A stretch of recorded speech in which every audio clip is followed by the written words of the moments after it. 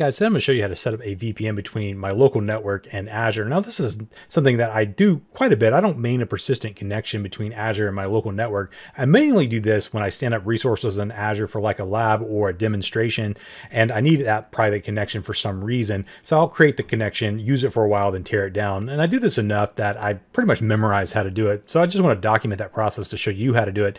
It's not something that you'll have to spend a lot of time learning. So once you set this up, it's pretty easy to repeat it. So here's my process. I'm going to walk you through the components first, and then I'll show you how to do it in the Azure portal and also using pfSense. So for this to work, of course, you're going to need Azure, and Azure is going to have a bunch of resources that you're going to be running in Azure. That could be virtual machines or SQL databases or app servers and all of that is connected to a virtual network. Now, a virtual machine is going to use a NIC, and these platform as a service resources will use private endpoints. But in any case, it's all connected to some kind of Azure VNet. Then on the other side, you're going to have a local network, and that local network will be your home, and that's that could be any number of different things. It could be a PC, a, a tablet, a phone. It could be IoT. You have all kinds of things that connect to networks nowadays, and then you're going to have some kind of appliance or some kind of router on the edge, and so that's where pfSense comes into the mix.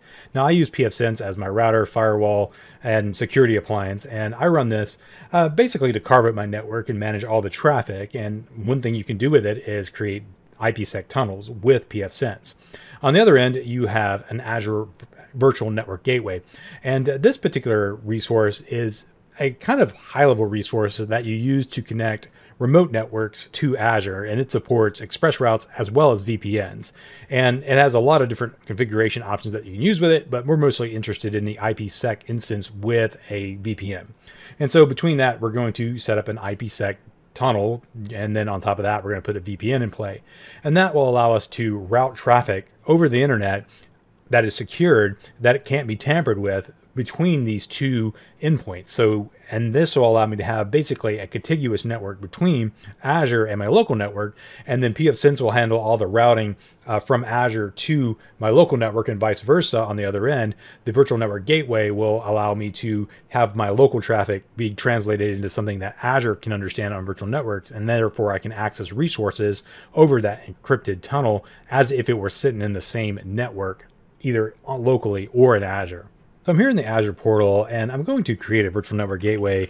I'm not going to actually go through the, the entire creation process uh, because uh, the process for creating one of these can take a while, but I'm going to walk you through the Azure portal and then I'm going to end up using this one right here to actually connect to. But to create one of these, uh, just find virtual network gateways in the search and then you'll get a list of them. You can then click create and then it'll walk you through the creation process. So you can do blaize-vpn2 for the name.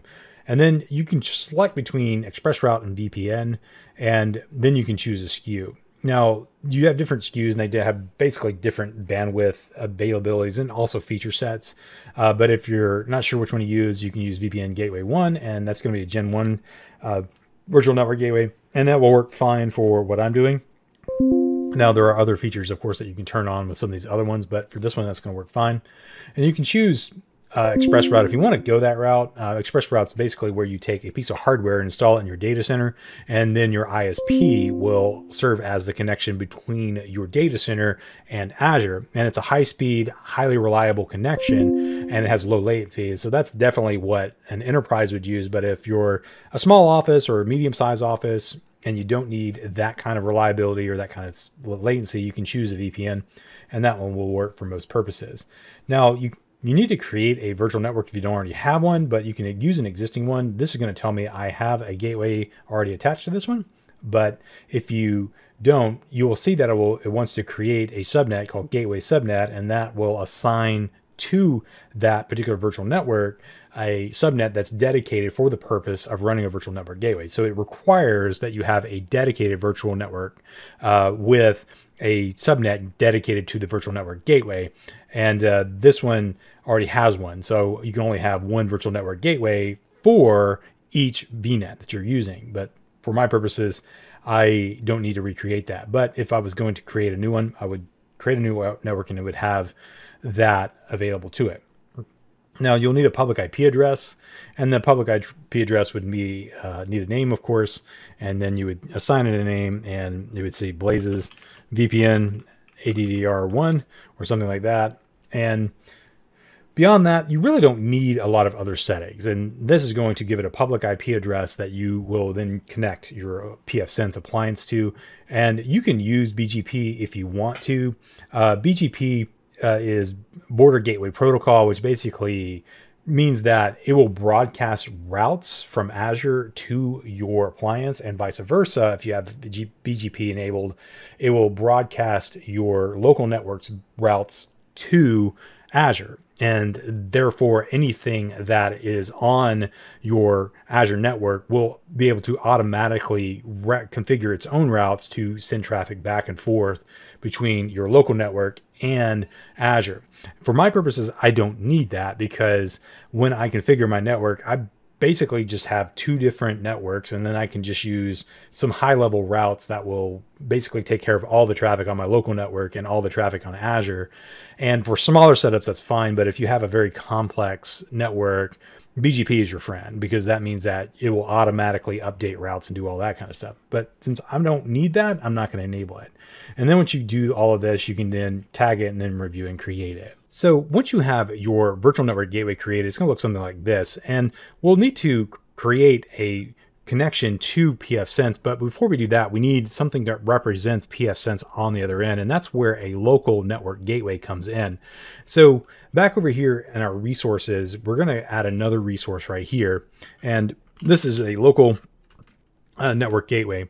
Now this resource doesn't you know cost anything. It's just a proxy for pfSense on my side. And it just basically defines the local network and as a resource on Azure so that we can use this as a way to uh, connect Azure to my local network.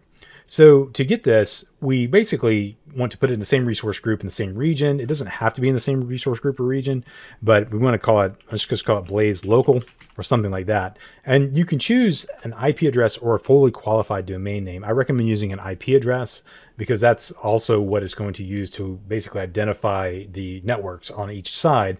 So to do that, just do what is my IP uh, into Google and uh, you can get a link like this. And so this is my IP4 um, IP address. So I'm going to use an IP address, and sometimes that changes. But if you wanted to use FQDN, uh, you could probably have to figure out how to do that. But I typically just use an IP address, and for the most part, my IP address, address rarely changes. Then I'm going to put in the address space for my local network, which is 10.0.0.0 slash 16. And that defines my local network. And once I'm done with that, I can tag it if I want to, or I can configure BGP. And um, and I'm not using BGP at all on this. I'm not going to broadcast any net routes because I have a fairly straightforward setup.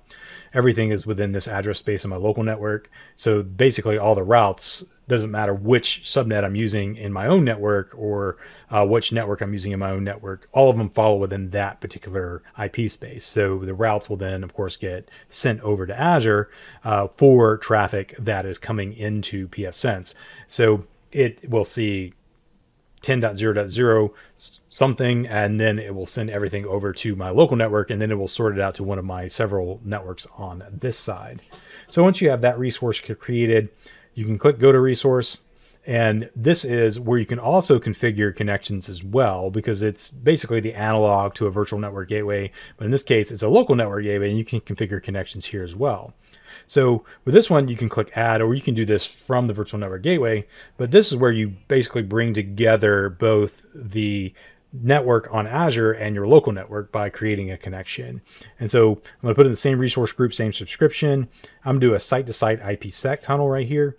And notice you can do ExpressRoute and a VNet to VNet connection, but I'm doing uh, site to site. I'm going to call it Blaize uh, local uh, and then dash two dash Azure or something like that.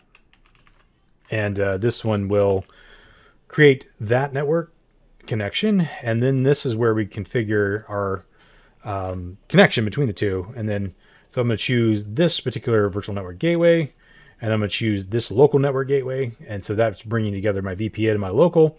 I'm going to use IKEv2, which is the protocol you'll want to use. And then you can use a custom IKE policy. So I'm going to click this right here and I'm going to set some settings here. And we're going to basically just replicate these settings in pfSense. So uh, for Ike, there's two phases to the uh, process. There's uh, the Ike phase one, which is basically the the, the authentication uh, phase, and then Ike phase two is the connection phase, which basically sets up the the networking. So this one I'm going to use AES 256, and then I'm going to use SHA 256 for the the hash algorithm, and then I'm going to use uh, group two.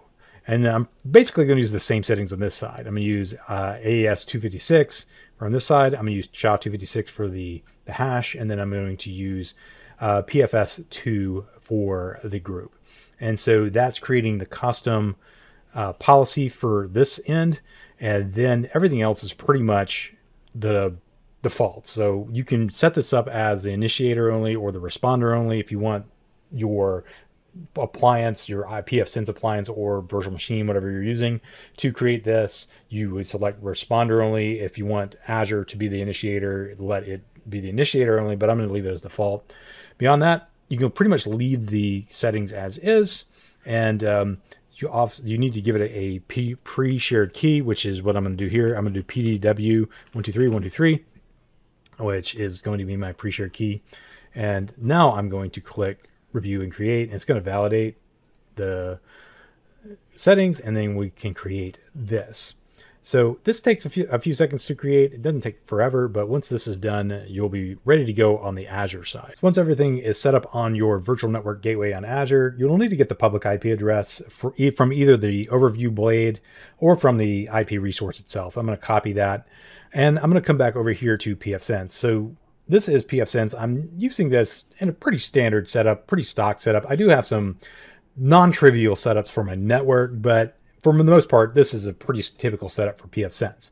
So uh, the option you want to choose is IPsec. I use OpenVPN for a Road Warrior VPN, so that is a point-to-site VPN for my phones and my laptops if I want to get back into my network when I'm out and about. But if I want to do a site-to-site, I use IPsec, and this is going to be the one I'm going to use for Azure, of course. So the things that we need to configure here are two things. We need to add Ike phase one, which is basically the authentication between the two endpoints. And then there is Ike phase two, which is the network piece that configures the networking. So Ike phase one, we're just going to add P1 right here. And this is where we're going to put in the remote gateway's IP address, which is what I've just copied from Azure. And then we come down here and we put in our pre-shared key, which is PWD123123. And then um, you would want to configure phase one proposal, which is basically all those configurations we put into our policy. So I used AES for the algorithm, 256-bit key length, SHA-1, SHA-256 hash, and then I do use DH group 2 for um, the key set. And once I have all of these things set, I then come down here and click save, and that will save the settings for phase one. Now we need to add phase two. So we can click show phase one, phase two right here, and then we can add phase two into this. And this is basically where we configure our network. So uh, this one, we're going to be using IPv4 tunnel and we're going to use a network. I have all these subnets. Like I said, I have VLANs for a lot of different things. I have one for my, my laptops and phones. I have one for my guest network and one for my kids and then one for IoT stuff, basically. And uh, I'm going to be using the entire network though uh, so I can have everything routed correctly from Azure back to my local network, and then IP, uh, the IP traffic will be figured out by pfSense on my local uh, context, and then it will take all the traffic from my local network and forward it over to Azure if it's hitting one of those IP addresses, and it lets Azure figure out where to route it. So uh, for this one, I'm just going to put in 10.0.0.0 and do a slash 16 which is what I put in on my local gateway, my local network gateway in Azure. And then on the remote network, I'm going to put in a network on that side, which is going to be 10.1.0.0, and it's a slash 16 as well. And that will cover pretty much all of the subnets on the Azure side. And so I'm going to put in Azure uh, site to site. And this is where I want to configure the settings for the phase two proposal, which is basically the same settings I put on the other side. So I'm going to use AES, 256-bit key length, and then um, I'm not I'm not going to use this, but I'm going to set SHA-256 for the hash algorithm, and I'm going to use PFS group key 2 right here. And so those are the same settings I put into Azure. So if I save this, I now have my phase one and phase two configured. and I can apply changes. And then the next thing to do is actually connect it. So to do that, we're going to go over to status and click on IPsec. And then we're going to click connect VPN. And if all goes well, we should see established. And that means that the um, network is established. Now, it takes a few seconds or minutes for the actual um, representation to show up in Azure, but if it shows up here as established, generally speaking, that means you're successfully connected. So I'll, I'll, wait a few seconds and then I'll show you the Azure side to show you it's connected on that side as well. So pfSense is showing that this is connected. And now let's look at the VPN side, and this is going to be the Azure side. So we come down here to connections, we can see that it's connected on this side. So that means that it's seeing each other on both sides. Now let's uh, try to connect to a resource, which in this case is going to be a virtual machine. I just created a virtual machine that has a, a private IP address. So this is the virtual machine right here. It's got no public IP address associated with it. So I want to connect to its private IP address. So I'm going to click connect and it's going to give me 10.1.0.4, which is in that range I gave my virtual network in Azure. It's also the range that I put into pfSense. And so this means that traffic should route from my local box here up to pfSense, and then pfSense will see, oh, that's Azure traffic, and then route it over the VPN. And then, of course, Azure will see that and then route it to the appropriate virtual machine on the other side. So let's go ahead and launch RDP and paste in this address right here and connect and it's asking me for a password. I can put in a password and log in. Of course, it's uh, not a public cert, so private cert, and I should see Windows 11. And so yeah, this is uh, a remote desktop experience using Windows 11. So again, uh, connected to this over the VPN, uh, and this is streaming RDP traffic from a Azure VM back to a local RDP client over that VPN connection that I had. So this is a pretty typical use case, something like this would be something that you would use a VPN for. Um, you probably don't want to use RDP on the public internet if you want to use that in a production oriented environment. Of course, I've done that in the past for just demos and things like that, but for um, production oriented environments or places that are you know, secure, use a VPN, and then you can connect and have a secure connection between the VM and your uh, local context. And of course, Azure resources like SQL servers or other databases that have private endpoints or apps that have private endpoints, uh, you can connect to those as well. But all this is just to show you that it is working and I do have a remote desktop experience running over a VPN to Azure. So uh, hopefully this has been informative to you. If you like the content, please like and subscribe to the channel. I, I do publish content at least once a week, uh, typically Azure related content. And I just wanted to do a video on this particular topic because it's something that I do all the time. And hopefully this will be useful to other folks that do similar things with Azure and IPsec and pfSense. And of course, pfSense is not the only game in town. There are other firewalls out there that will give you uh, a IPsec option for connecting to up to the Azure Virtual Network Gateway. So this is the one that I use. So I thought I would share how I do it. And you can certainly do the same with your firewall if you're using pfSense. Of course, just follow along and you'll have a connection with your Azure resources on pfSense in your particular context, and you'll be able to use it. So again, thanks for watching, and hopefully I'll see you again on a future video. If you like this content, please consider subscribing to the channel by clicking on the subscribe button. You can also like this content by clicking on the thumbs up or share this content with your friends, and also comment in the comment section down below. You can also find me online at www.blaize.net or on Twitter at the One Mule. And as always, thanks for watching.